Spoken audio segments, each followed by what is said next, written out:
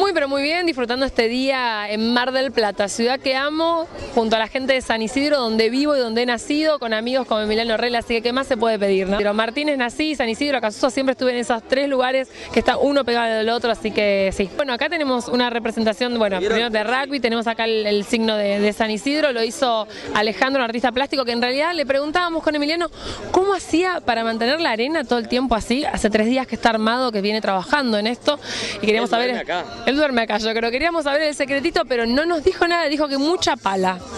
Mucha pala. Dijo eso, dijimos, bueno, debe ser así. No, y que primeramente este, se moja la arena, hacen bloques y en base como, el- como el hielo. Claro. El bloque de hielo, el bloque de, de- de- de- Estamos explicando todo, usted corríjame, este, el bloque de arena mojada y se empieza a tallar. Y así quedó esta escultura fantástica en representación, en representación, por supuesto, de San Isidro y lo que es Mar del Plata, la arena, este balneario y lo que es el deporte y la cultura. Y un artista increíble como Alejandro. Y se moja durante toda la noche, toda la noche y todo el día hay que estar mojando la escultura para que no se Habría desca- Usted autorice, autoriza que el que está regando Descanse. descanse. Hace Que descanse, que el que riegue. Ahora nos vamos a encargar, vamos a hablar con el que Está riega. mareado, ya da vueltas y vueltas y vueltas. Nos falta Yanola que ya está en el mar, flotando. Sí, no, se fue, se fue a... Se fue a refrescar. Él dijo que no iba a dormir la siesta, pero a nosotros, bueno, tra- ustedes trabajan mucho a la noche, así que es el momento del descanso también. Gracias por la onda que le pusieron, ¿no? Porque cuando un artista es otro modo de lo público y el artista cerca de lo de él concita su adhesión a través de la gente y nosotros con esto podemos dar trabajo,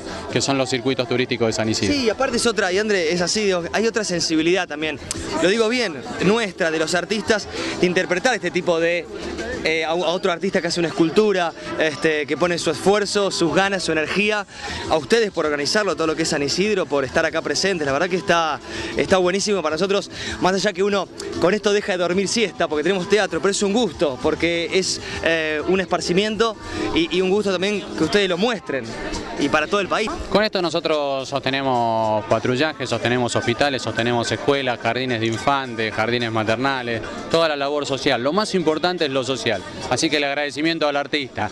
Si no hubiese sido por lo social, ellos tampoco hubiesen venido. Vienen porque tiene un sentido social.